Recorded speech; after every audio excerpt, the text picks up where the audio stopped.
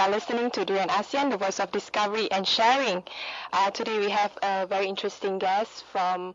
Um, um, sorry, we have a very interesting guest. He's an activist and he's passionate on the issues regarding on the poor. And with me is uh, Hussain Muhammad S. How are you? Uh, hi, hi, Arlene. I'm good. How are you?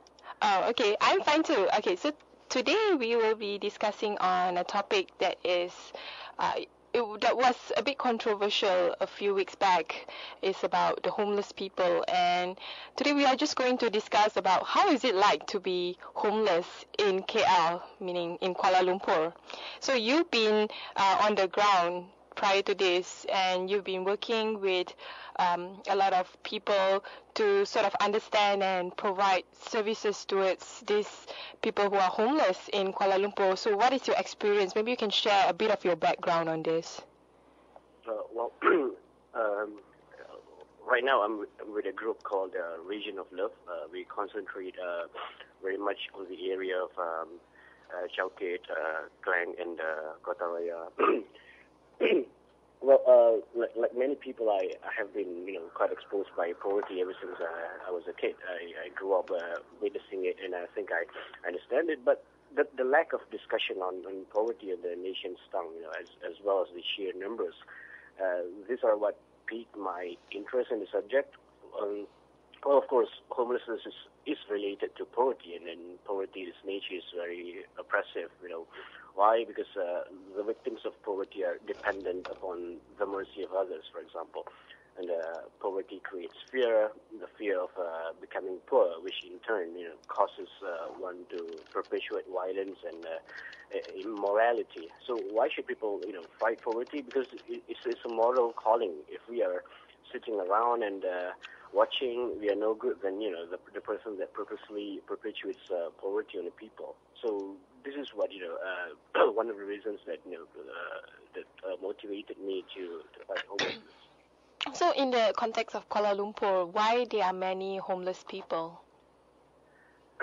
well, uh, it happens mostly in uh, in a well-developed city, of course. You know, we see people desperate to make ends meet, people who are uh, locked out of both the labor market and the housing market. You know, often without even a place they can call home. We see a housing market that is uh, well, notoriously bad at providing uh, affordable housing for low-income families and individuals.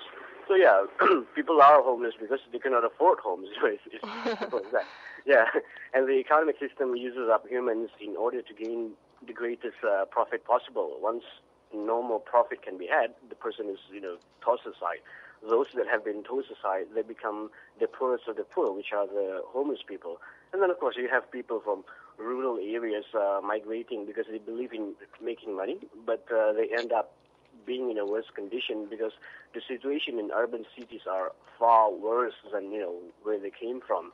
People who are uh, living in rural areas, uh, we can say that they are poor, but uh, the condition of living is not as bad as how it is in the in, in the urban cities. Mm-hmm. In the past, do do you um, maybe from your experience or your your peers' experience, do you see a lot of homeless people compared to now, and why is that so? Yes, we do see a lot of uh, homeless people.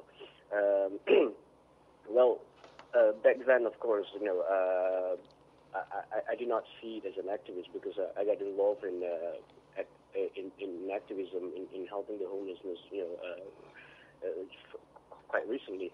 But uh, you, you can always, you know, tell the difference because uh, Kuala Lumpur is very near to your heart. You know, it's, you, you know, uh, many of us are, you know, born in this uh, around this area.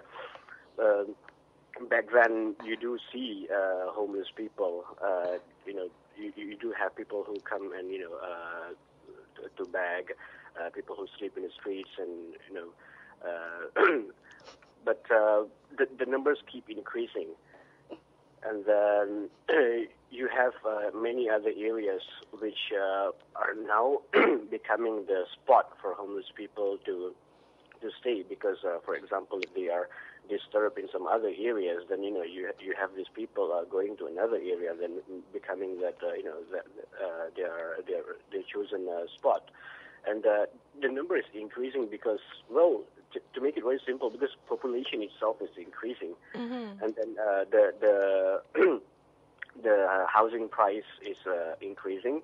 Uh, the city is getting more dense. You know, mm-hmm.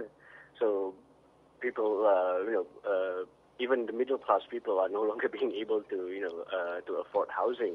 So th- there's always this uh, struggle. Uh, there's always this uh, struggle. Uh, for example, and cheaper homes are actually mainly on the outskirts of Kuala Lumpur, like how do you make sense to travel like two, three, uh, like uh, two, uh, more than two hours to just go to work? It would make more sense if you can sleep on the street and go to work the next day. If you know those people have some of them, I think probably they may have jobs to have to do. Yeah, which is especially true for the homeless people because uh, you know traveling uh, is uh, there's a lot of expenses in traveling. So what these people do, those who are staying outside, they come and try to stay in Kuala Lumpur, and these are you know uh, migrant people from the rural areas or people who are just uh, trying to uh, make ends meet for the family. They have to come and they have to stay in Kuala Lumpur, which then you know result in them trying to uh, live in um, rental house hotels mm-hmm. and yeah, which is very much expensive, and then they discover themselves not being able to support themselves after that. So many of them are just stuck. You know, they, they didn't they don't want to face uh, their family back at home. You know, uh, they just can't afford to go back to, to home. So this is the reason why those people are still around. Mm-hmm. But there are many other reasons, of course. But what about the views of uh, this Women, Family and Community Development Minister, Dato Sri Rohani Abdul Karim? She said that uh, NGOs, uh, I guess she's targeting NGOs like you, uh, you guys, should refrain from spoiling, uh, quote unquote, the homeless. Um, do you think you are spoiling the homeless by, you know, uh, going to the ground and providing services and food to them? well, the homeless people had always been there. I mean, even before uh, the NGOs are, you know, uh, you know, even before the amount of NGOs came up to, to what it is today. Uh, but back then, you know, nothing was being done about the homeless people anyway. So not even the government. Yeah, not very much. You know, you you have a very few. Um, you have a very few assistance coming from uh, the government. But so when people see this, you know, they decide that something needs to be done about it. Today, uh, there is a need to feed the homeless people. It's because if if the NGOs don't do that, then who will? You know, so this is why the NGOs are there, and the numbers are increasing because of other factors, because of uh, you know the the the, the increase in uh, the, the cost of living, and then um, the, the failure of the government itself to, to curb the issue in the first place. It's not because of the NGOs. The NGOs are there to help. If, if the NGOs don't do that, the situations are not going to get, uh, you know, the situations are going to get much more worse.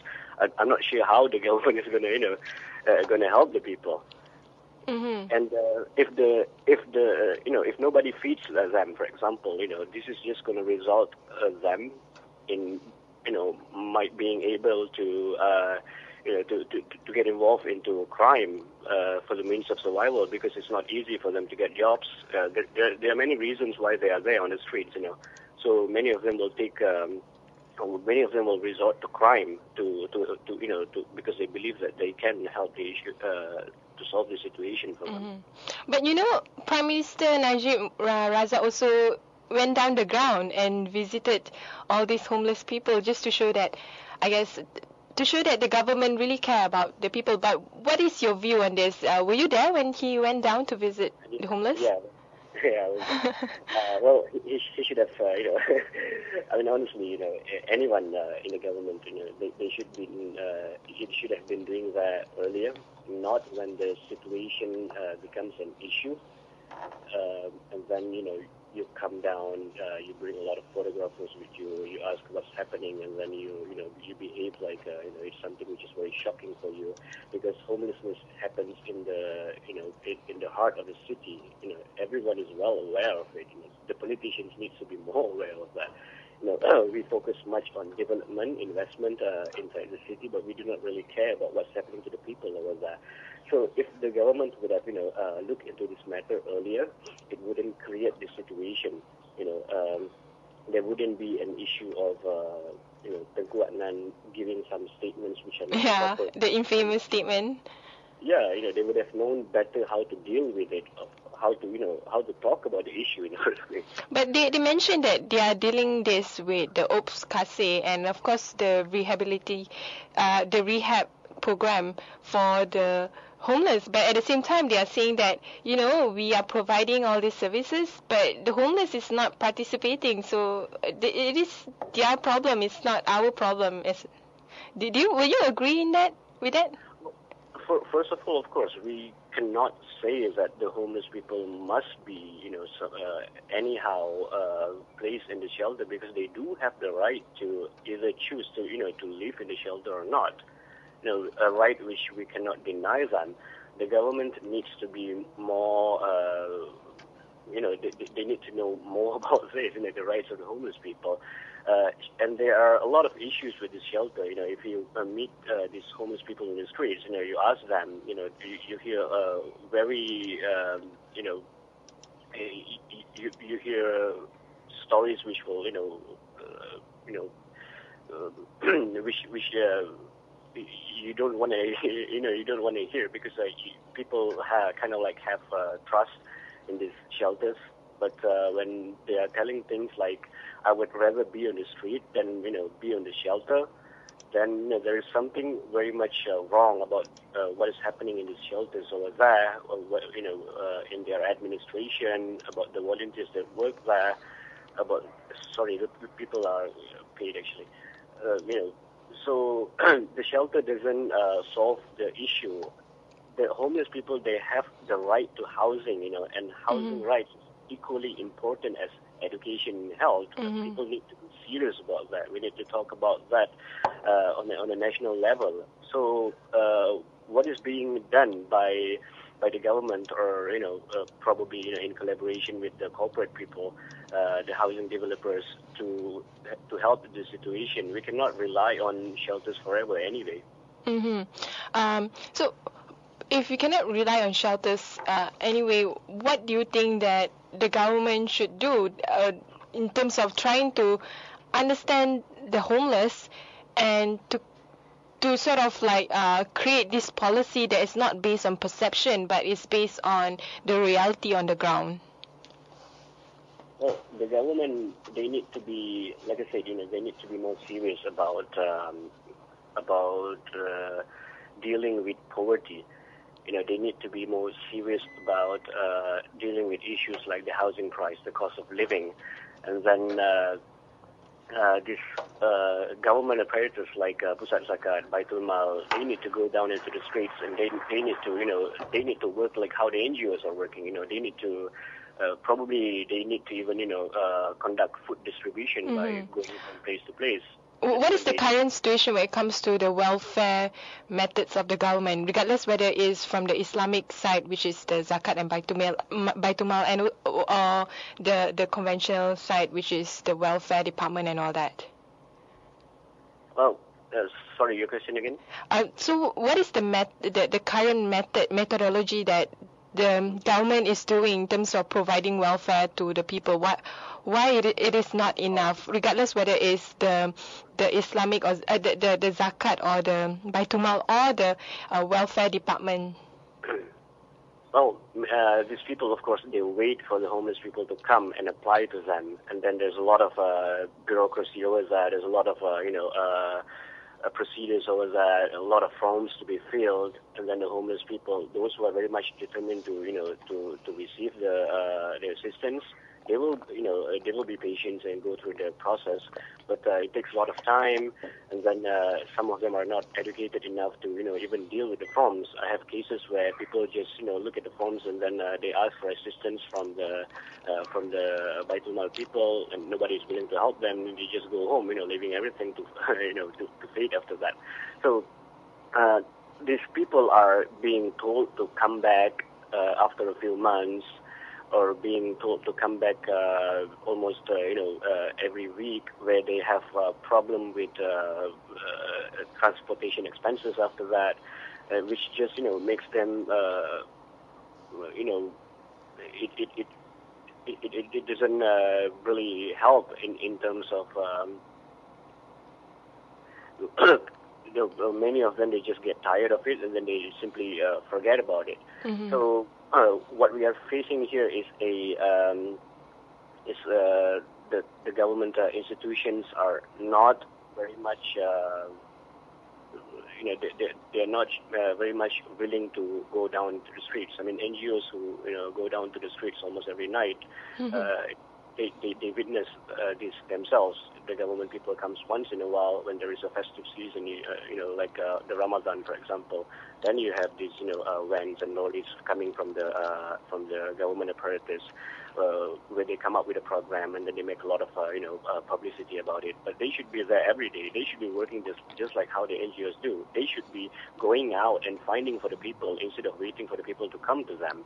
You know, Mhm. so yeah, in uh, in one way where the this government uh, uh, these government organizations can work with people is that people can help by you know uh, highlighting uh, the issues that they see and then bringing it to the government bodies so that the government bodies will you know take the case and then what people can do also is you know to follow up to make sure that these cases are being resolved with because many of those things that go to the government bodies uh, they are just left over there you know the people get tired dealing with the government and it's uh, completely forgotten.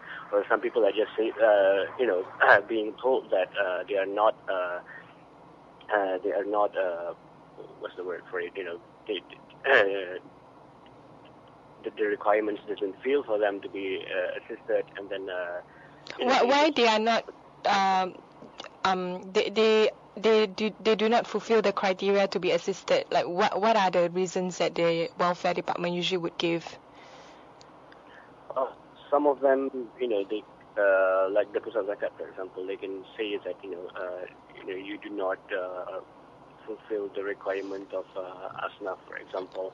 Um, for, for example, if we say like, um, you know, uh, that, like this this this case where uh, the people has not been uh, homeless long enough, or um, this uh, kind of assistance, uh, like Baitul gives, for example, where you know you you pay the rental for the homeless people. Uh, so the house needs to be there in the first place. So there is a problem over there when you know the uh, deposit amount uh, is required for them to uh, pay for the house in order to get in the house in the first place. So when the homeless people have uh, this uh, this issue of uh, coming up with a deposit itself to pay for the house, then there's pretty much you know nothing that uh, can do about it because they will only help with the monthly rental.